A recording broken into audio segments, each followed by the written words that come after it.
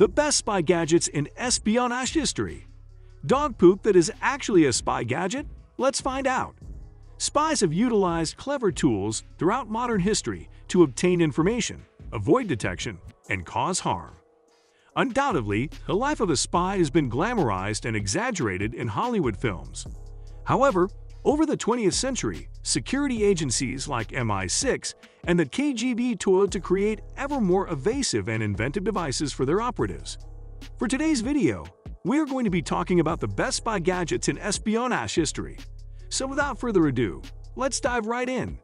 Dog Poop Transmitter, circa 1970. First, up on our list, we have something that's rather funny, but equally genius. I mean, you would have thought that some random pile of poo lying around is actually a spying device?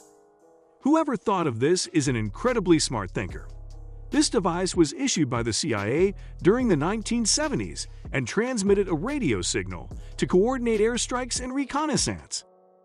That KGB-issued shoe may feel like something from an old spy film, but it serves as a reminder of the Cold War's reality and the numerous technological advancements made possible by espionage. Agents recorded and saw private talks using the transmitter in the shoe. The target's shoes were equipped with batteries and a microphone, turning them into walking radio stations for onlookers. Remote-controlled insects. Next up, we have remote-controlled insects. The Insectothopter, a remote-controlled imitation dragonfly created by the CIA to covertly record discussions of interest made its debut in 1974. The device had several limits, though. It included a tiny gas engine that could run for only a few minutes. The gadget was never deployed on a mission because it was too bulky even in mild winds. However, the Insectothopter demonstrated that unmanned flying vehicles might really be employed for data collection. Indeed, reconnaissance would increasingly rely on aerial intelligence gathering devices particularly with the development of powerful drones. Untraceable letter opening devices. The next item on our list is the untraceable letter opening devices. In order to read mail without the recipient's knowledge during World War II, agents developed untraceable letter opening equipment. You would slide a thin bar through the little gap at the top of an envelope fold. The top of the letter would then be grabbed by pincers. The letter would be wound around the metal bar while the machine rotated. The letter would then be wrapped securely around the bar before being carefully removed from the envelope. The letter would again be put into the envelope flap and unwound once its contents had been read or copied. There would be no damage to the envelope, and perhaps the receiver wouldn't be aware that the contents were compromised. Suitcase transceivers. Next up on our list, we have the suitcase transceivers. The Standards Align System and MI6 both embraced the technique when the Special Communications Unit of the United Kingdom created a message transmitter that looked like a suitcase.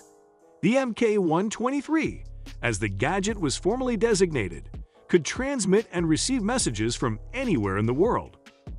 When Iranian protesters assaulted and set fire to the British Embassy in Tehran in November 1978, the MK-123 was put to use.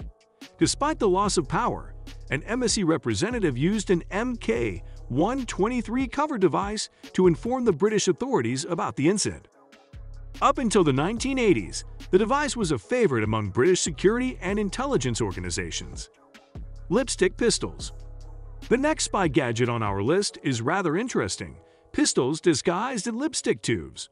At a checkpoint in West Berlin in 1965, American authorities detained and searched a suspicious man a plain lipstick holder was discovered on the suspect.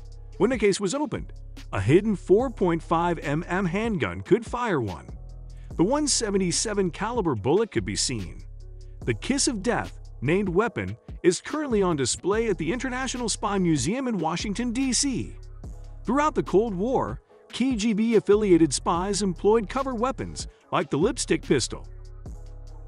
Wristwatch cameras Next up on our list, we have something that seems very ahead of its time. Apple wasn't the first company to think of cameras mounted on a wristwatch. It was actually first thought by Germans.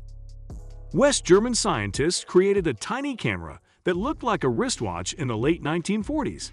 Anyway, this wraps up our video for today. What do you think about this? Let us know in the comments section down below.